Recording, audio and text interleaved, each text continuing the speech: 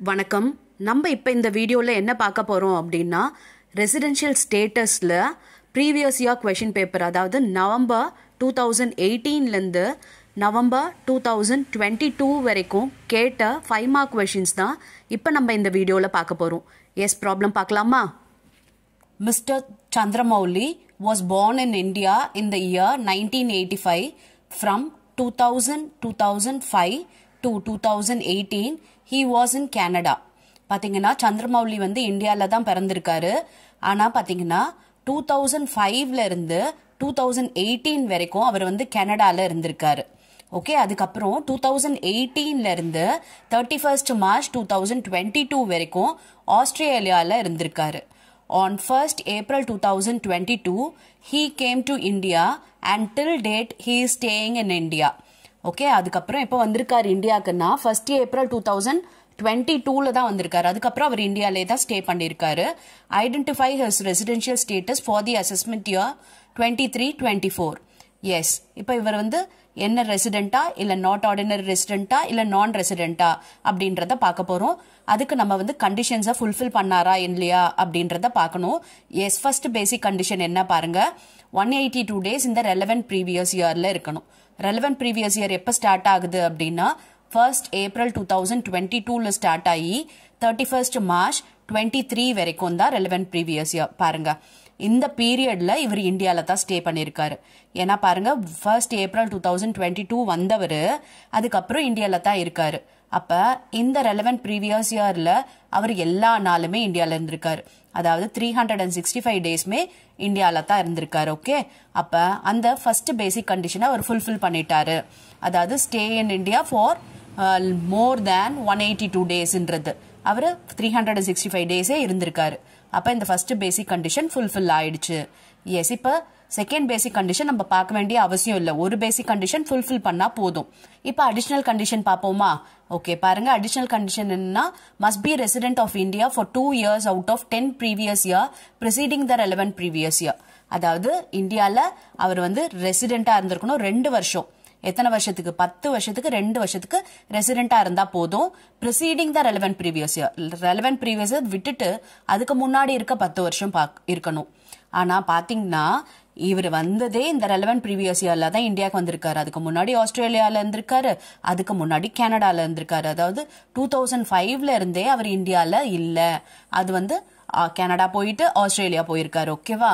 அதனால இவர் வந்து டென் இயர்ஸில் டூ இயர்ஸ் ரெசிடென்ட் அப்படின்ற கண்டிஷனை ஃபெயில் பண்ணிட்டாரு. ஓகே ஸ்டே பண்ணலை. ஓகே ஜீரோ டேஸ் தான் அவர் ஸ்டே பண்ணியிருக்காரு. அதனால அந்த கண்டிஷன் வந்து ஃபுல்ஃபில் ஆகலை. ஓகே இப்போ ஒரே ஒரு பேசிக் கண்டிஷன் பண்ணியிருக்காரு அண்ட் ஒரு அடிஷ்னல் கண்டிஷன் பண்ணலை. ரெண்டாவது அடிஷ்னல் கண்டிஷன் செக் பண்ண வேண்டிய அவசியம் இல்லை. ஏன்னா ரெண்டு அடிஷ்னல் கண்டிஷனும் ஃபுல்ஃபில் பண்ணால் தான் ரெசிடென்ட் அண்ட் ஆர்டினரி ரெசிடென்ட் ஆவாங்க. ஒரு அடிஷ்னல் கண்டிஷன் ஃபுல்ஃபில் பண்ணலனாவே அவங்க என்ன ஆயிடுவாங்கன்னா resident and but not ordinary resident ஆயிடுவாங்க. ஸோ இப்போ இந்த சந்திரமௌலி பார்த்தீங்கன்னா ஃபர்ஸ்ட் அடிஷ்னல் கண்டிஷன் ஃபெயில் ஆனதுனால இவர் வந்து resident and not ordinary resident அப்படின்னு சொல்லிட்டு டிக்ளேர் பண்றாங்க ஓகே எஸ் நெக்ஸ்ட் ப்ராப்ளம் பார்க்கலாமா A doctor who is an Indian citizen left to France from India on 6th July 2022 to take up an employment there. He has never been out for the India in the past year. Determine residential status of the doctor for the previous year 22-23. பார்த்தீங்கன்னா டாக்டர்ன்றவர் வந்து Indian citizen தான். Okay அவர் வந்து இந்தியாவுக்கு விட்டு first time அவர் போயிருக்காரு. எப்படி போயிருக்காருன்னா July six two thousand twenty two போயிருக்காரு. அங்கே வந்து எம்ப்ளாய்மெண்ட்டுக்காக அதுக்கப்புறம் பார்த்தீங்கன்னா அதுக்கு முன்னாடி அவர் வந்து இந்தியாவுக்கு விட்டு போனது கிடையாது. ஓகே அவரோட ரெசிடென்ஷியல் ஸ்டேட்டஸை வந்து நம்மளுக்கு கேட்டிருக்காங்க. இப்போ பார்த்தீங்கன்னா இவரோட பேசிக் கண்டிஷன் ஃபுல்ஃபில் பண்ணுறாரா அப்படின்றத பார்க்கலாம் எஸ் பாருங்கள் first basic condition stay in India இந்த ரெலவென்ட் ப்ரீவியஸ் இயரில் ஒன் எயிட்டி டூ டேஸ் இருக்கணும். ரெலவென்ட் ப்ரீவியஸ் இயர் எப்போ ஸ்டார்ட் ஆகுது அப்படின்னு பார்த்தீங்கன்னா ஒன் ஃபோர் டுவெண்ட்டி டூலேருந்து thirty one three twenty three வரைக்கும் தான் ரெலவென்ட் ப்ரீவியஸ் இயர் இந்த பீரியடில் அவர் எத்தனை நாள் இருந்தார் இந்தியாவில் அப்படின்றத பார்க்கலாம். அதாவது எப்போத்துலேருந்து இருந்திருக்காருன்னா ஒன் ஃபோர் டுவெண்ட்டி டூலேருந்து சிக்ஸ்த்து ஜூலை டுவெண்ட்டி டூ வரைக்கும் தான் இருந்திருக்காரு. ஓகே அவர் ஸ்டே இன் இண்டியா இந்த பீரியட் மட்டும்தான். அப்போ இது ஏப்ரல் ஏப்ரல் மந்தில் தேர்ட்டி டேஸ் இருந்திருக்காரு. அண்ட் மேல பார்த்தீங்கன்னா தேர்ட்டி ஒன் டேஸ் இருந்திருக்காரு. ஜூனில் தேர்ட்டி டேஸ் இருந்திருக்காரு. அண்ட் ஜூலையில் சிக்ஸ் டேஸ் இருந்திருக்காரு. ஓகே அதாவது நைன்டி செவன் டேஸ் தான் அவர் இந்தியாவில் இருந்திருக்காரு.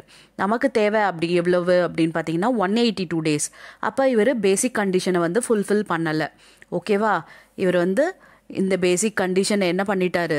ஃபெயில் பண்ணிட்டார் ஓகே எஸ் அதுக்கப்புறம் பார்த்தீங்கன்னா செகண்ட் பேசிக் கண்டிஷன் என்ன அப்படின்னா இவர் வந்து Indian origin okay Indian origin எம்ப்ளாய்மெண்ட்டுக்காக employed abroad அப்படின்றவங்களுக்கு ஒன் எயிட்டி டூ டேஸ் தான் செகண்ட் பேசிக் கண்டிஷனும் ஓகே அதாவது சில கேட்டகரி இருக்காங்க.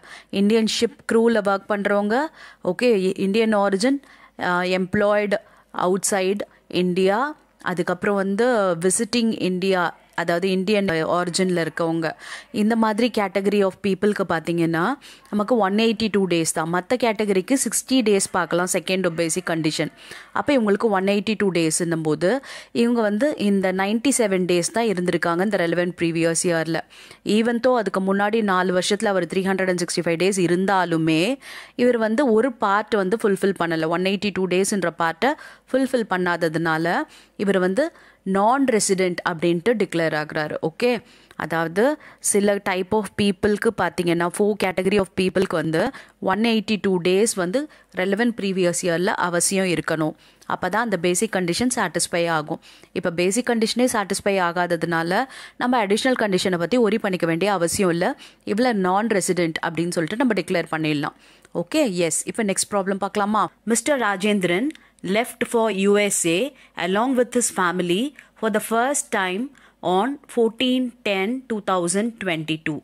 He returned to India on 31 5 2023. Determine his residential status for the assessment year 23 24. பார்த்தீங்கன்னா ராஜேந்திரன் வந்து இந்தியாவிலேருந்து எப்போ போயிருக்காரு அப்படின்னு பார்த்தீங்கன்னா ஃபஸ்ட்டு டைம் அவர் வந்து ஃபோர்டீன் டென் டுவெண்ட்டி டூவில் தான் வந்து போயிருக்காரு. ஓகே அதுக்கு முன்னாடி வரைக்கும் அவர் இந்தியாவில் தான் இருந்திருக்காரு. அண்ட் எப்போ திரும்பி வந்திருக்காரு அப்படின்னு பார்த்தீங்கன்னா தேர்ட்டி ஒன் ஃபைவ் டுவெண்ட்டி த்ரீயில் வந்து திரும்பி வந்திருக்காரு. ஓகேவா இப்போ இதுதான் வந்து அவர் இந்தியாவில் இல்லாத duration okay fourteen ten twenty டூலேருந்து thirty one five twenty three வரைக்கும். அதுக்கு முன்னாடி எல்லாம் அவர் இந்தியாவில் தான் இருந்திருக்காரு. சரியா? எஸ் இப்போ இந்த ப்ராப்ளம் எப்படி போடுறதுன்னு பார்க்கலாமா? ஓகே ஃபர்ஸ்ட் பேசிக் கண்டிஷன் பாருங்க. அதாவது ரெலவென்ட் ப்ரீவியஸ் இயரில் ஒன் எயிட்டி டூ டேஸ் அவர் வந்து ஸ்டே பண்ணியிருக்கணும் இந்தியாவில் ஓகே இப்போ ரெலவென்ட் ப்ரீவியஸ் இயர்ன்றது என்ன அப்படின்னு பார்த்தீங்கன்னா ஒன் ஃபோர் டுவெண்ட்டி டூலேருந்து thirty one three twenty three வரைக்கும் தான் ரெலவென்ட் ப்ரீவியஸ் இயர் ஓகே அதாவது ஏப்ரல் டுவெண்ட்டி டூவில் ஆரம்பித்து மார்ச் டுவெண்ட்டி த்ரீ வரைக்கும் இருக்கிறது ரெலவென்ட் ப்ரீவியஸ் இயர் இப்போ இதில் இந்தியாவில் எவ்வளோ நாள் இருந்தார் அப்படின்னு பார்த்தீங்கன்னா அவர் ஃபோர்டீன் டென் வரைக்கும் இந்தியாவில் தான் இருந்திருக்கார் டுவெண்ட்டி டூவில் ஓகே பாருங்கள் அதாவது ஒன் ஃபோர் டுவெண்ட்டி டூலேருந்து ஃபோர்டீன் டென் டுவெண்ட்டி டூ வரைக்கும் இந்தியாவில் தான் இருந்திருக்காரு. அப்போ இது என்ன மந்த்து ஏப்ரல் மந்த்தா ஓகே அப்போ ஏப்ரல் ஒன்னுலேருந்து டென்னுன்றது அக்டோபர் ஃபோர்டீன்த் அக்டோபர் வரைக்கும் எத்தனை டேஸ் அப்படின்றத கேல்குலேட் பண்ணலாம்.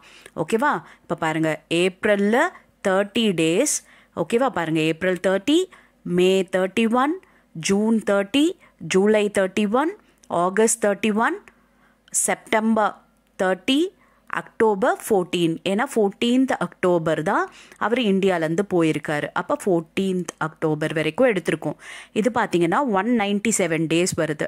ஆக்சுவலி இவர் ஒன் எயிட்டி டூ டேஸ் இந்தியாவில் ஸ்டே பண்ணியிருந்தாவே போதும். இவர் வந்து ரெசிடெண்ட்டாக அப்படின்றத பார்க்கறதுக்காக நமக்கு ஃபஸ்ட்டு பேசிக் கண்டிஷனை ஃபுல்ஃபில் பண்ணியிருப்பார். எஸ் அப்போ ஒன் நைன்டி செவனே இருக்கார். அப்போ ஃபஸ்ட்டு பேசிக் கண்டிஷனை இவர் ஃபுல்ஃபில் பண்ணிட்டாரு. ஏன்னா ஒன் எயிட்டி டூ டேஸ்க்கு மேலே இந்தியாவில் ஸ்டே பண்ணி.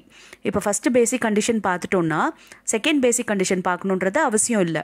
ஓகே இந்த பேசிக் கண்டிஷன் ஃபுல்ஃபில் பண்ணாவே இவர் ரெசிடென்ட் ஆகிடுவார் இப்போ ஆர்டினரி ரெசிடெண்ட்டா நாட் ஆர்டினரி ரெசிடெண்ட்டா அப்படின்றதுக்காக நம்ம அடிஷ்னல் கண்டிஷனை செக் பண்ணணும்.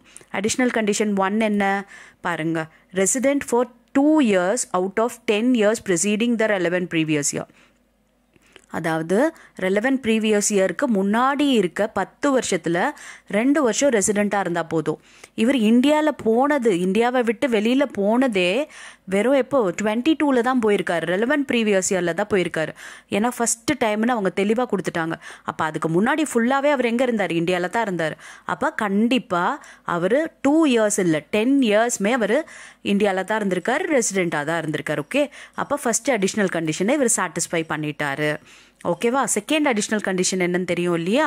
அதாவது seven hundred and thirty days out of seven years preceding the relevant previous year இந்த கண்டிஷனும் பார்த்தீங்கனாலும் நமக்கு வந்து என்ன ஆகிடும் ஃபுல்ஃபில் ஆகிடும் காரணம் என்ன? ரெலவென்ட் ப்ரீவியஸ் இயரில் தான் அவர் இந்தியா விட்டு போனார். அதுக்கு முன்னாடி ஃபுல்லாக அவர் இந்தியாவில் தான் இருந்தார். அப்போ தாராளமாக செவன் ஹண்ட்ரட் அண்ட் தேர்ட்டி டேஸை விட ஜாஸ்தி தான் அவர் இந்தியாவில் ஸ்டே பண்ணியிருப்பார். ஓகே ரெலவென்ட் ப்ரீவியஸ் இயருக்கு முன்னாடி ஏழு வருஷத்தில் எழுநூற்றி முப்பது நாள்ன்றது தாராளமாக அவர் சாட்டிஸ்ஃபை பண்ணிட்டார். ஸோ செகண்ட் அடிஷ்னல் கண்டிஷனும் சாட்டிஸ்ஃபை ஆகிடுச்சு ஓகே அப்போ என்ன ஒரு பேசிக் கண்டிஷனை பண்ணிட்டாரு அண்ட் ரெண்டு அடிஷ்னல் கண்டிஷனும் அவர் சாட்டிஸ்ஃபை பண்ணிட்டாரு. அப்போ இவர் யார் அப்படின்னா resident and ordinary resident okay basic condition one and additional content two okay basic condition ஒன்று பண்ணால் போதும். செகண்ட் செக் பண்ணாலும் நமக்கு வந்து ஃபுல்ஃபில் பண்ண மாதிரி தான் வரும். ஆனால் நமக்கு இந்த ஸ்டேட்டஸை செக் பண்ணுறதுக்கு ஒரு பேசிக் கண்டிஷன் ஃபுல்ஃபில் பண்ணியிருந்தாவே போதும். ஓகேவா எஸ் இப்போ அடுத்த ப்ராப்ளம் பார்க்கலாமா? பாருங்க. Mister Natesan and Indian citizen staying in America comes on a visit to India during the previous year 2021 for a period of 85 days. Okay பாருங்க நடேசன்றவர் இந்தியன் சிட்டிசன் ஆனால் எங்கே ஸ்டே பண்ணுறாருன்னா அமெரிக்காவில் ஸ்டே பண்ணியிருக்காரு ஓகே அதுக்கப்புறம் அவர் விசிட் பண்ணுறாரு இந்தியாவில் ஓகே எத்தனை டேஸ் வந்திருக்காரு? டுவெண்ட்டி டுவெண்ட்டி ஒன்ன்ற ப்ரீவியஸ் இயரில் எயிட்டி ஃபைவ் டேஸ் வந்திருக்காரு. Before twenty twenty one he usually visits India for a minimum period of 150 days a year. Determine his residential status. பார்த்தீங்கன்னா அதுக்கு முன்னாடி ப்ரீவியஸ் இயர்ஸில் அதாவது டுவெண்ட்டி டுவெண்ட்டி ஒனுக்கு முன்னாடி இருக்க ப்ரீவியஸ் இயரில் ஒவ்வொரு வருஷமும் பார்த்தீங்கன்னா ஒன் ஃபிஃப்டி டேஸ் அவர் இந்தியாவில் வந்து ஸ்டே பண்ணுவார் ஓகே இவரோட ரெசிடென்ஷியல் ஸ்டேட்டஸ் வந்து நம்மளை அசிடெயின் பண்ண சொல்கிறாங்க ஓகே ரெசிடென்ஷியல் ஸ்டேட்டஸில் ஃபஸ்ட்டு பேசிக் கண்டிஷன் என்ன அப்படின்றத பார்க்கலாம் பாருங்கள் ஃபஸ்ட்டு பேசிக் கண்டிஷன் என்னன்னா stay in India for one eighty two days or more in the relevant previous year okay இப்போ இந்த ப்ராப்ளம் பொறுத்த வரைக்கும் ரெலவென்ட் ப்ரீவியஸ் இயர்ன்றது டுவெண்ட்டி டுவெண்ட்டி ஒன் தான். ஓகே அதில் பார்த்தீங்கன்னா அவர் எயிட்டி ஃபைவ் டேஸ் தான் ஸ்டே பண்ணியிருக்காரு. நம்மளோட கண்டிஷன் படி ஒன் எயிட்டி டூ டேஸ் இருக்கணும். அவரை ஃபுல்ஃபில் பண்ணலை. அப்போ ஃபஸ்ட்டு பேசிக் கண்டிஷனாக அவர் ஃபெயில் ஆயிட்டார். ஓகே அவர் வந்து ரெலவென்ட் ப்ரீவியஸ் இயரில் less than one eighty two days இருந்ததுனால ஃபஸ்ட்டு பேசிக் கண்டிஷனை அவர் ஃபுல்ஃபில் பண்ணலை. ஓகே இப்போ செகண்ட் பேசிக் கண்டிஷன் பார்ப்போமா செகண்ட் பேசிக் கண்டிஷன் என்ன அப்படின்னு பார்த்தீங்கன்னா 182 days in the relevant previous year and 365 days in four previous year preceding the relevant previous year.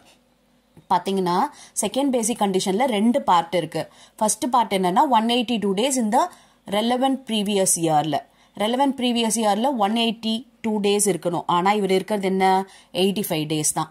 Okay அதுக்கு முன்னாடி இருக்க ப்ரீவியஸ் இயர்ல ஒரு ஒரு வருஷமும் ஒன் ஃபிஃப்டி டேஸ் இருக்காரு. ஆனா நமக்கு நாலு ப்ரீவியஸ் இயர்ல முன்னூத்தி அறுபத்தஞ்சு நாள் இருந்தா போதும். இது பாத்தீங்கன்னா நாலு வருஷத்துக்கு தாராளமே முன்னூத்தி அறுபத்தஞ்சு நாள் வருது. ஆனா இதுல ஃபர்ஸ்ட் பார்ட் அவர் வந்து ஃபுல்ஃபில் பண்ணல. அதாவது இவர் Indian origin staying abroad visiting India அப்படின்னும் போது இதுல வந்து செகண்ட் பேசிக் கண்டிஷன்ல சிக்ஸ்டி டேஸ் ஒரு சிலருக்கு அது ஒன் எயிட்டி டூ டேஸ் அப்படின்றது இருக்குது இந்த கேட்டகரி அதாவது இந்தியன் ஆரிஜின் சிட்டிசன் ஆனால் ஸ்டேயிங் அப்ராட் ஓகே விசிட்டிங் இந்தியானும் போது இவங்களுக்கு அந்த சிக்ஸ்டி டேஸ் கணக்கே வராது. ஒன் எயிட்டி டூ டேஸ் தான் இவங்க இருந்தாகணும். ஸோ அதை ஃபுல்ஃபில் பண்ணாததுனால செகண்ட் பேசிக் கண்டிஷனும் இவர் ஃபெயில் ஆயிட்டாரு. ஓகேவா அதாவது ஒரு சிலவங்களுக்கு அதாவது ஒரு ஃபோர் கேட்டகரியை தவிர்த்து மீதி எல்லாருக்கும் சிக்ஸ்டி டேஸ் ஸ்டே இருந்தால் போதும். ஓகேவா?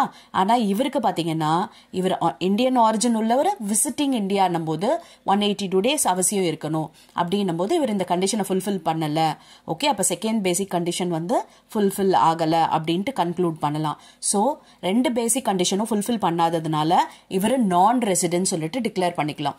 இப்போ நம்ம அடிஷனல் கண்டிஷன்லாம் போக வேண்டிய அவசியமே இல்லை.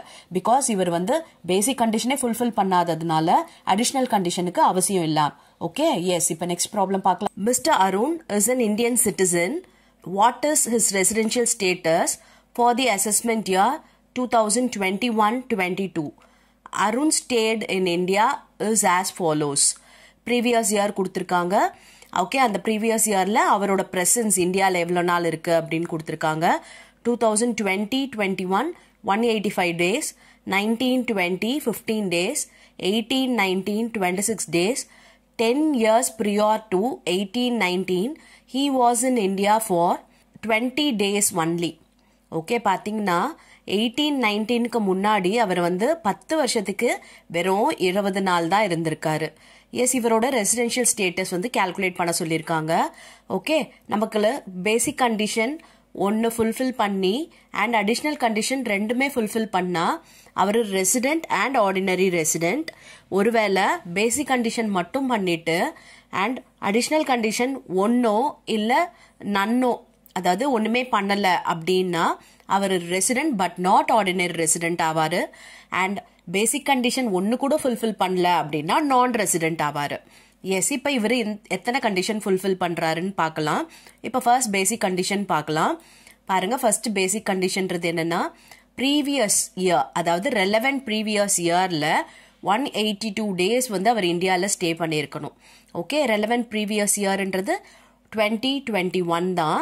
அதாவது நம்ம இந்த அசஸ்மெண்ட் இயர்க்கெல்லாம் பார்க்காதீங்க ஓகே இந்த கொஷின் பேப்பரில் இருந்த அசஸ்மெண்ட் இயர்க்கு வச்சு நம்ம ப்ரீவியஸ் இயர் எல்லாம் டிட்டர்மைன் பண்ணியிருக்கோம் அவ்வளோதான் ஓகேவா அதில் பார்த்தீங்கன்னா அவர் எத்தனை நாள் ஸ்டே பண்ணியிருக்காரு one eighty five days stay பண்ணியிருக்காரு நமக்கு இருக்க கண்டிஷன் என்னென்னா ஒன் எயிட்டி டூ டேஸ் இருந்தாவே போதும்.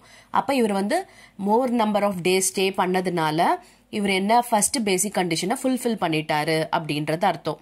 ஓகே ஃபர்ஸ்ட் பேசிக் கண்டிஷனை ஃபுல்ஃபில் பண்ணால் மட்டும் போதும். செகண்ட் பேசிக் கண்டிஷன் நம்ம போக வேண்டிய அவசியம் இல்லை. ஏன்னா ரெண்டு பேசிக் கண்டிஷனில் ஒரு பேசிக் கண்டிஷன் ஃபுல்ஃபில் பண்ணாவே அவங்க ரெசிடென்ட்ன்ற கேட்டகரிக்கு வந்துருவாங்க ஓகே அதனால பாருங்க since mister Arun stay in India இந்த relevant previous year is more than one eighty two days he fulfills the first basic condition okay இப்போ அடிஷ்னல் கண்டிஷன் பார்க்கலாமா? ஃபர்ஸ்ட் அடிஷ்னல் கண்டிஷன் என்னன்றதை பார்க்கலாம். Must be resident of India for two years out of ten previous year preceding the relevant previous year okay relevant previous இயருக்கு முன்னாடி பத்து வருஷத்துல ரெண்டு வருஷம் அவர் ரெசிடெண்ட்டாக இருக்கணும். ஓகே இதுதான் வந்து ரெலவென்ட் ப்ரீவியஸ் இயர் இல்லையா? டுவெண்ட்டி டுவெண்ட்டி ஒன்ன்றது அதுக்கு முன்னாடி பாத்தீங்கன்னா அவர் எயிட்டீன் நைன்டீனில் டுவெண்ட்டி சிக்ஸ் டே இருந்திருக்காரு. நைன்டீன் டுவெண்ட்டியில் ஃபிஃப்டீன் டேஸ் இருந்திருக்காரு. அண்ட் எயிட்டீன் நைன்டீனுக்கு முன்னாடி வெறும் இருபது நாள் தான் இருந்திருக்காரு பத்து வருஷ பீரியடுக்கு ஓகேவா அதாவது ரெசிடெண்ட்டாக இருக்கணும் அப்படின்னா இவர் வந்து at least one eighty two days வந்து ஒரு வருஷத்தில் அதை மாதிரி ரெண்டு வருஷத்துக்கு இருந்திருக்கணும்.